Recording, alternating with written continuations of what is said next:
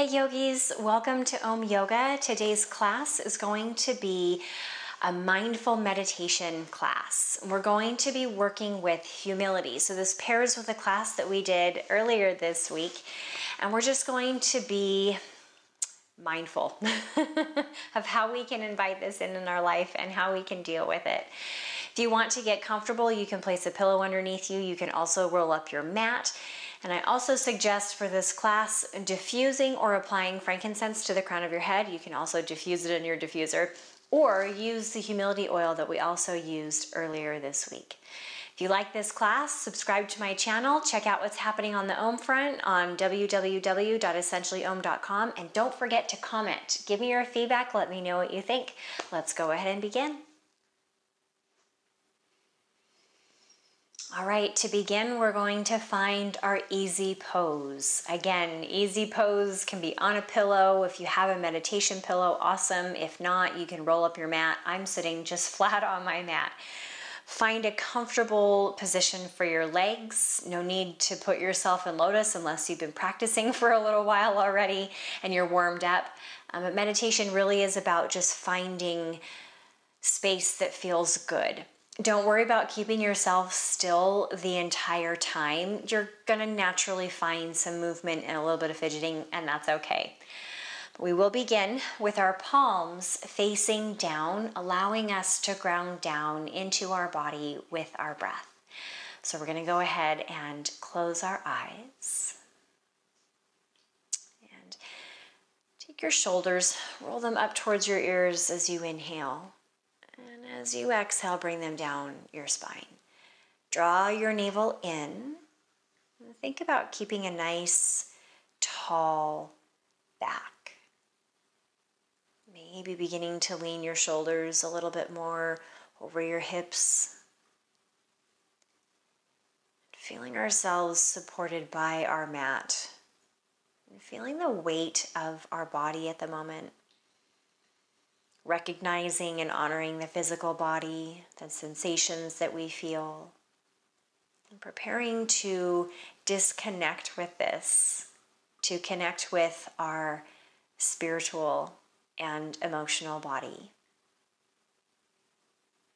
Our breath will be very soft, but intentional. So begin to deepen your breath. Inhaling in through the nose and exhaling out through the nose.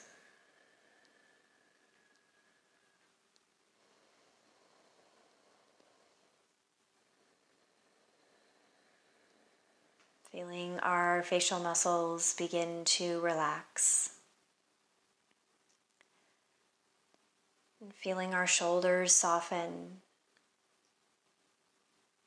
Feeling our spine begin to relax, even though it's holding us up. Feeling our hips,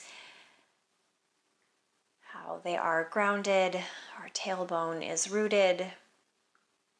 Feeling our legs and feeling them very soft and supported as well.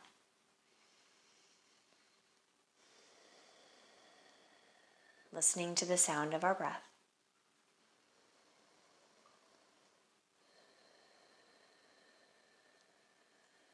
And I want us to begin from our roots with this meditation.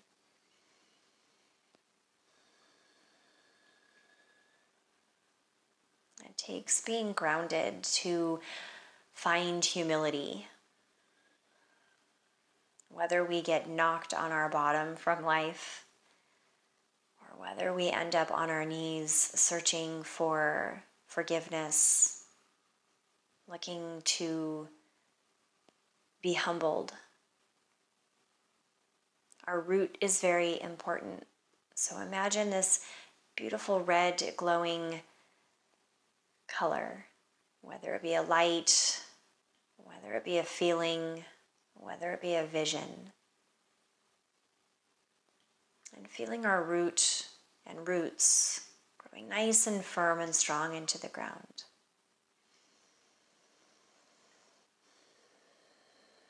listening to our breath.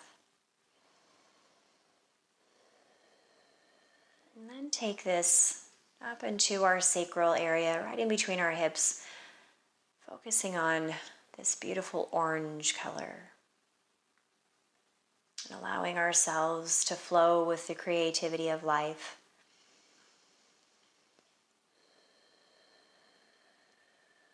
Sometimes we need to use our creativity to see how situations can help to humble us.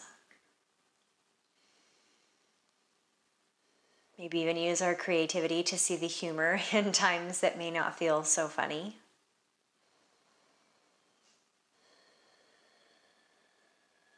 And then feel this light begin to grow up into our belly, two inches up above our navel now in our Manipura chakra.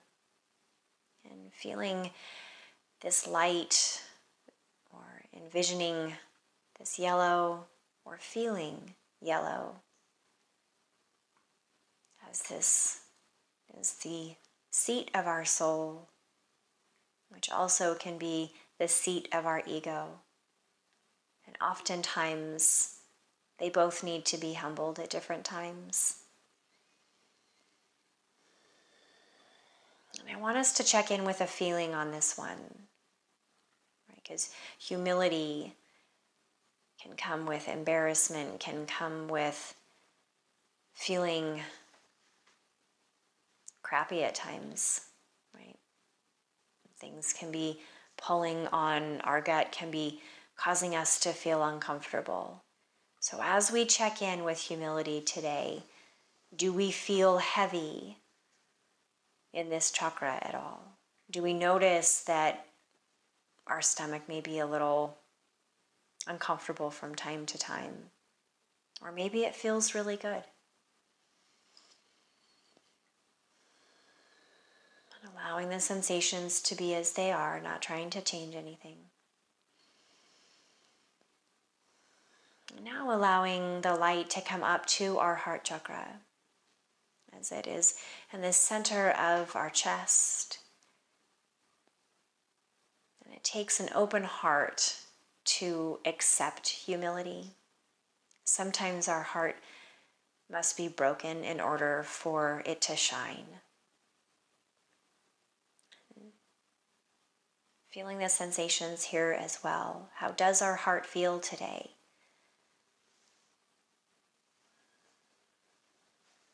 Lifting through the crown of our head, staying nice and tall, and letting the light now flow up into our throat chakra, Vishuddha. Feeling, sensing, or seeing blue, light blue, dark blue.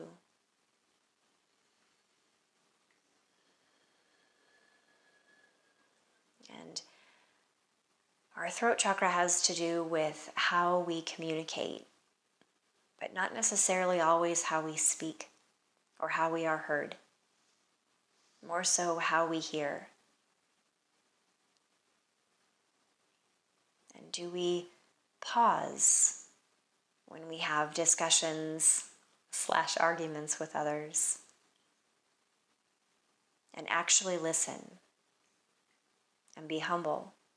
And allow ourselves to be humbled by what they have to say. That's not to say that if someone is being mean, that this is okay. But when we are having a conversation with a loved one, whether it be friend, family, are we allowing ourselves to hear them? They too can carry pain. And if we put our ego first, we can help to drive that pain with our words. So, can we find this balance between listening, really listening, without trying to speak or formulate an answer?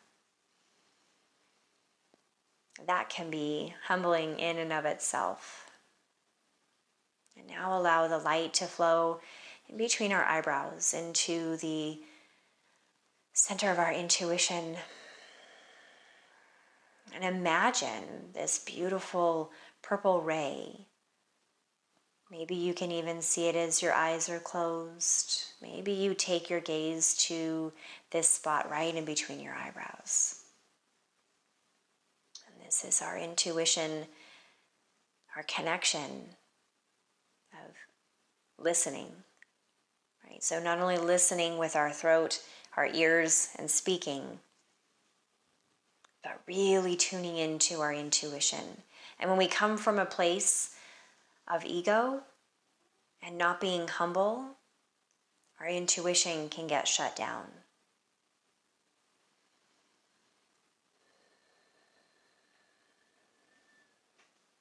And now allow this light to travel up to the crown of our head and out.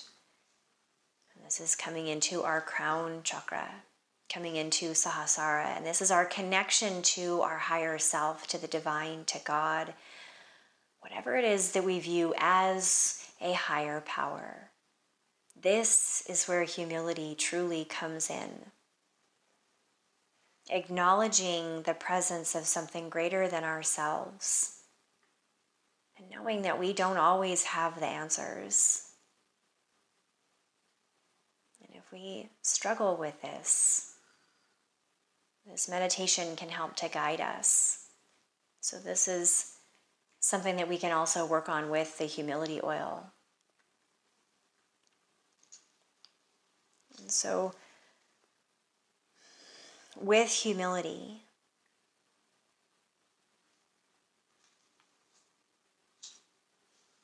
can we recognize that we are part of something greater? So, whether it be in conversations with others, or whether it be in prayer or in meditation, can we feel the connection to something higher than ourselves? And that's not to say that we should feel small or insignificant. That is actually quite the opposite of what I am saying. But can we find and feel that we are a part of something so much bigger than we can realize? And that everyday struggles and stresses and anxieties and worries and cares and feelings of lack or insignificance, when we recognize that we are a part of something larger than we, than us, than I,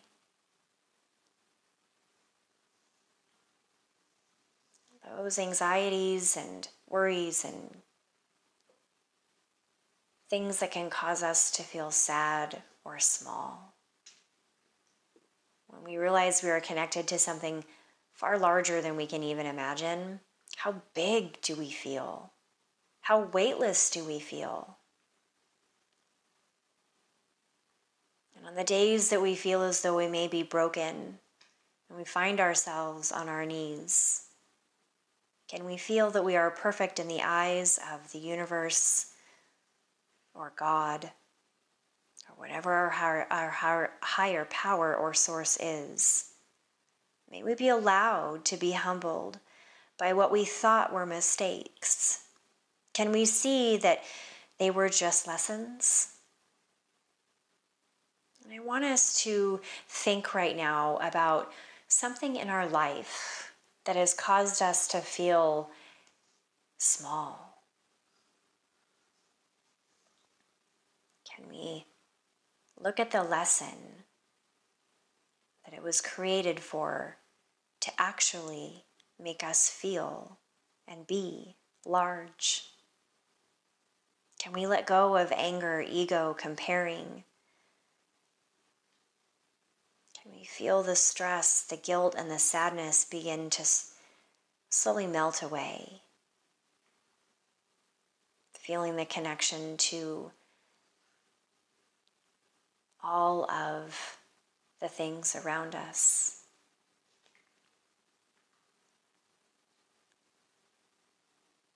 Acknowledging and just being with these feelings. Not trying to push them away, but just feel. And to close out this meditation, I'm going to bring in a very healing light. And with this light, it's going to transmute all of these worries, the stress, the sadness, the anger, the ego, and allow us to feel whole and clean. So now, wherever you are, we're going to take an audible exhale. As you inhale, I want you to breathe in from the crown of your head this beautiful violet ray. And as you inhale, bringing it all the way down to the very tip of your spine. And as you exhale, sending it around your entire body and entire being And as we surround ourselves with this beautiful violet flame, we feel our body, our soul, our mind, our spirit begin to lighten as we allow all of the darkness or sadness or anger to be completely transmuted. Recognizing that we are a part of something greater than ourselves.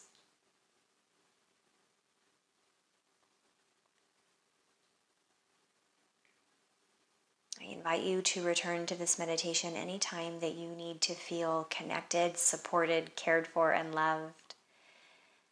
Anytime that you struggle with a lesson of humility or wanting to be humbled. And keeping this violet flame around us for the rest of our day or evening or whatever we face. Connecting back in with our breath. Connecting back into the sensations in our physical body. Maybe beginning to wiggle fingers and toes. With your eyes closed, Bring your hands to your heart center, dropping your chin down towards your chest. From the bottom of my heart to yours, I thank you for allowing me to guide you through this meditation. Hands to our lips.